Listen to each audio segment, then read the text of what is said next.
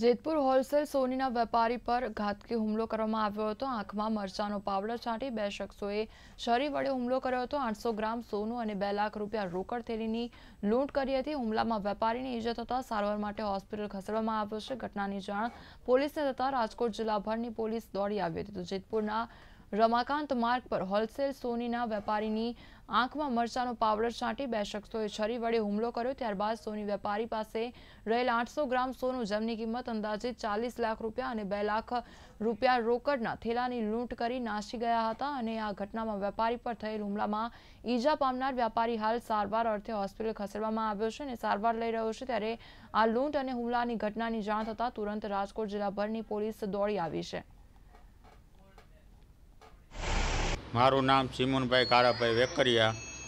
સોની બજારમાંથી, શ્રીહરિ ગોલ્ડમાંથી મારો સોનાનો ઠેલો લઈને હું મતવાશેરી બાજુ જતો હતો. તો રમાકાંત માર્ગ ઉપર મને બે શખ્સે શર્ટની ઉડાડીને છરી બતાવીને, મારો માલ સોનાનો લૂંટીને.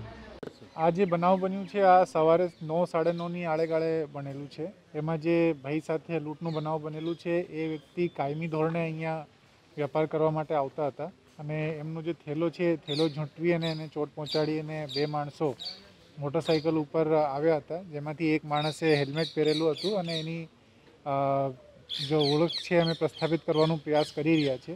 એ લોકોને પોતાની ઓળખ છુપાવવા માટે જ હેલ્મેટનું યુઝ કરેલું છે એવું પ્રાથમિક દ્રષ્ટિએ લાગે છે.